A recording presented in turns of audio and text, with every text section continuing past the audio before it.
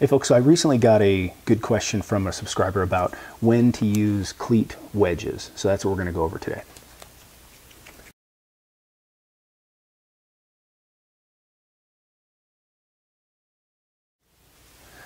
Now these wedges, and they come in different varieties. This is for look cleats or Speedplay, uh, four bolt or some two bolt cleats too. Their job is to uh, correct some um, issues that are specific to the feet. Um, that is most of the time the case. Not 100% of the time, but almost all the time. If you're using one of these, it should be because there is some mechanical issue occurring at the feet. And this is why a bike fit has to include an off the bike assessment because if you don't know where a certain motion is coming from, for like for instance, a, a, an aberrant knee motion, I've seen a lot of people come in with wedges underneath their cleats trying to correct for some knee motion when that motion isn't coming from the, the feet at all. And so the wedges themselves are not going to do much of any good. Um, it should the, the, the wedges should be used only when the forefoot mechanics are causing some aberrant motion. The most common and the simplest example of this is when we have what's called forefoot varus. Now, forefoot varus is really common. It's a, it's a, it's a posture position, you might say, um, of the forefoot, and the forefoot being, I'm going to use my hands as feet again, as I did in old videos, but um, this is my right foot. Here's my big toe. Um, we have the, the toes, or, and then we have metatarsals, okay? Um, forefoot varus just means that the forefoot, the metatarsals and the toes themselves, like to sit in this orientation where the big toe is oriented up in a non-weight bearing or, un, or unweighted position. And there's a way we test for this. We have somebody kneel um, and with their feet dangling off of the uh, bed surface and uh, it allows us then to kind of see where the forefoot will naturally go to and hang. Okay. Now, much of the population has some degree of forefoot varus. It is much more common than the opposite, which would be forefoot valgus, which is the bottoms of the feet pointing away from each other. However, not that many people, when they ride a bike, does it become an issue. Um, but when it does, this is this is what ends up happening: is we have the the bottom of our shoe, and so let's this is an insole here. So let's just pretend this is inside of our shoe, and our foot, instead of wanting to rest flat on it, it wants to, of course, rest with the big toe oriented up just a little bit with the forefoot at an angle. So then when we go to push down on the pedals, in order to complete our pedal stroke and get the most out of our pedal stroke, we have to finish through the first ray or the, the, the big toe and its metatarsal. And so that, that forefoot will have to then collapse down to the shoe to meet it. Um, you can almost think of it as it's not pronation, but you can almost think of it that way. We sort of have to that foot has to pronate in to, uh, to then meet the bottom of the shoe so we can finish the force through that big toe on the inside here because that's how the, the power transfer goes. It go, starts from kind of the back and the side and it as we push on the pedals it then transfers through the first ray and finishes at the bottom of the pedal stroke there. What this can do is if that foot does have to travel like that, you can imagine if that foot is moving, then it's going to have, it, it has a potential anyway to drive the knee in and do, do all sorts of other things. Um, and that can cause, obviously, it can cause some problems on people. So the purpose of the wedges is to correct for that. And I'm going to, okay, so the way these work, and we'll see if we can get this secondary camera here to work. So we have these wedges here. And what I can do is they have a thin side and a thick side. And what I'll do is I'll stack a couple of them together like that. So the fat side is, is over here on this side, and then the thin, this is the thin edge. And what I can do then is because my foot inside the shoe wants to rest like that with the, with the big toe angled up, right? What I can do is I can take these wedges and put the fat side underneath the cleat. And of course, this is the wrong, uh, this is the wrong style for this cleat, but you get, you'll get the idea. It's easier to see these big yellow wedges. Um, it will, when it's put underneath that cleat, it will angle that cleat down like that. So the with, with the shoe tipped up like that, it'll angle the cleat down. And that directly affects then because, uh, affects us because now if you have a forefoot varus, your foot can assume some of this posture. And what we're doing then is we're just bringing the cleat down to meet the pedal. in a flat orientation the way it has to because that cleat, the only way it's going to engage is in that flat orientation. And that's a good way to go about it. It's not always the best way. It's really simple though, because we can, again, these are the ones for the SPDs. These can easily be slipped underneath a cleat and, uh, and you can have an impact. However, sometimes a better fix for that is to actually adjust the insole. We can, since again, my foot wants to orient like this, what we can do is bring the insole up to meet that. Okay, and so what we would end up doing is building up all this inside here to kind of orient the forefoot in this way. And so now the foot can orient at the position that it wants to wants to stay in here. Um, this then is built up to meet the bottom of the shoe, and then we can transfer power to the bottom of the shoe through the pedal in a flat orientation to the to the from the cleat to the pedal. Um, the difficulty with doing that when, in some instances is if you have a, an existing pair of shoes already, building that up, and obviously it's not never built up that much or rarely. Um, it's usually mild, but it still takes up more space. And usually, most you know, many cycling shoes are are fairly low volume already, and so there's just not a whole lot of room in there. Um, so that's the simplest and most common way that this all happens.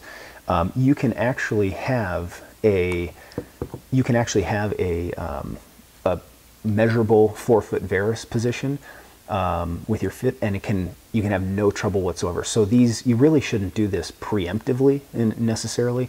Um, I wouldn't you know do a test and see that you have forefoot varus and automatically put shims in or wedges in, excuse me. And uh, and so this is the kind of thing that we do want to take one step at a time and just see if, if there actually is a problem first. Now these wedges can be used with other um, mechanical issues with the feet, but it's definitely more rare. This is probably the most common reason to use them. Um, and even more rare is using them for outside reasons.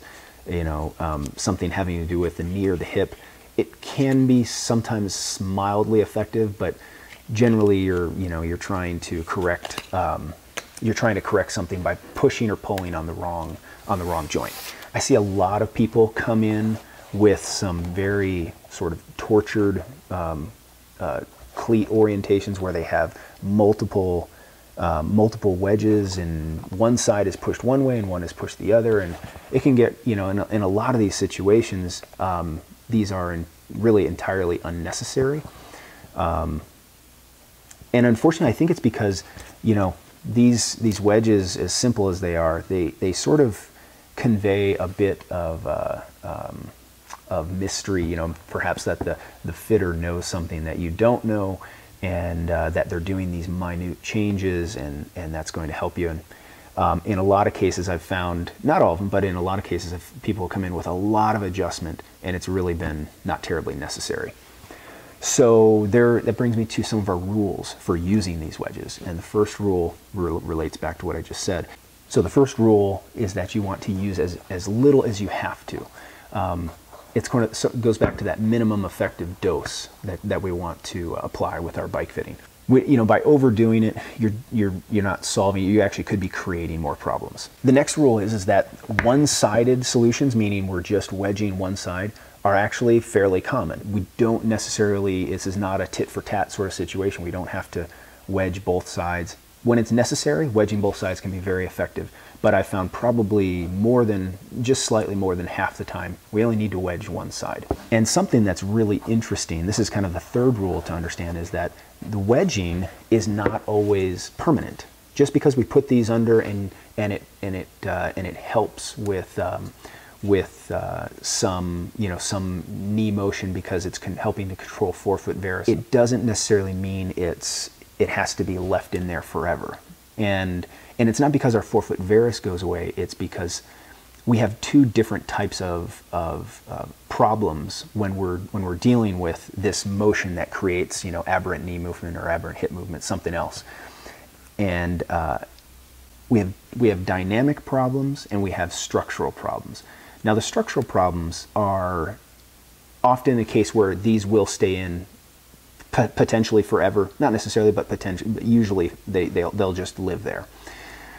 And and that's fine. And it's not a big deal to transfer from one set of cleats to another and new shoes etc but we want to be aware that there are dynamic issues at play here too.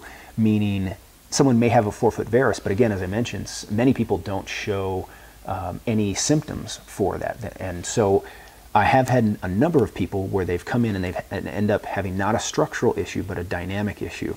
And so we put wedges in.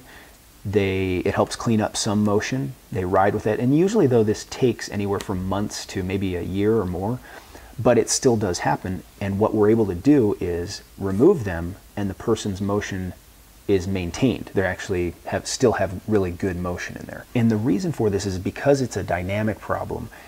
What we often end up doing is that the wedge helps correct for some motion, which then allows us to develop sort of a new motor plan. It essentially allows us uh, the body to, for lack of a better way of putting it, allows it to learn how it should be postured, how it should be moving through the pedal stroke.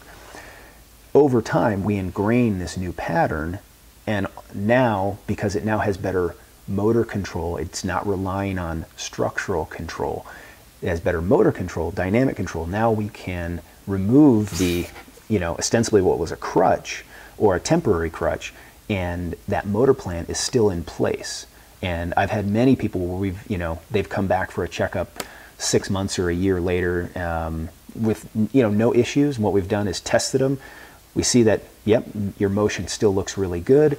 And then we actually take the, the wedge out and sure enough, we retest them and retest them and retest them, and sure enough, their motion stays good even without them. Now, the only way to really know whether you have a um, something that can be um, is structural or dynamic, um, that's difficult. Again, that goes back to to some to some extent. It might be on the off the bike assessment, so that's why again those are really necessary. But what it really requires in the bike fit is you have to have extremely accurate technology to measure because we, we don't have a lot of leeway. We're, we're, we're really tracking down minute movements most of the time. And so if you have no way to measure, um, you know, some, some, you know, very tiny motions in the knee or the hip, then you're not going to be able to tell uh, to any significant degree of confidence that this person's motion has improved and that they no longer need these, these wedges. Um, so that's part of the that's part of the, the the rub there is that in order to do that, you really have to have uh, have sort of the data really locked down and, and have it tightly controlled. Now, as I mentioned, a lot of times shoes are built with this forefoot positioning, forefoot uh, varus position posturing in there. And so you do need to be careful when you are then going from, say, an, uh, one shoe to, an, to the next. I have had clients where they've even stayed with the same manufacturer, but the manufacturer changed the way the, the forefoot is posted in the shoe, and uh, we've had to sort of redo a bit of the um, of the uh, wedging solution. Sometimes we've been able to remove it because they added some in. Um, but that's uh, that's something definitely to be aware of. So I hope this was helpful to some out there. Um, I'm sure in a lot of situations we probably gave you more questions than answers. Uh, but uh, at least if it gets you gets you thinking, gets you questioning kind of how things are set up um, you might, uh, might come to some solutions for your own bike fit. Um, if you do have uh, further questions, don't hesitate to put them in the comments below and I will get to those. And uh, thank you to my subscriber who asked this question. This is, you know, this is what I do often is I will just, when, when people ask questions, many times if it's, if it's really good, I will just do a quick video on it. So thank you again and uh, we'll see you next time.